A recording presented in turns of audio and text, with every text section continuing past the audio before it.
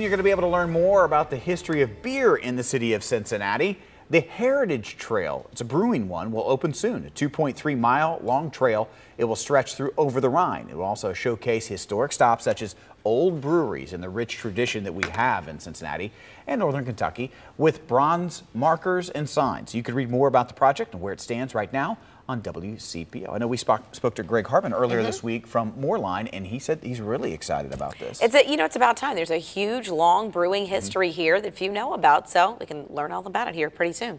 Well, you already know.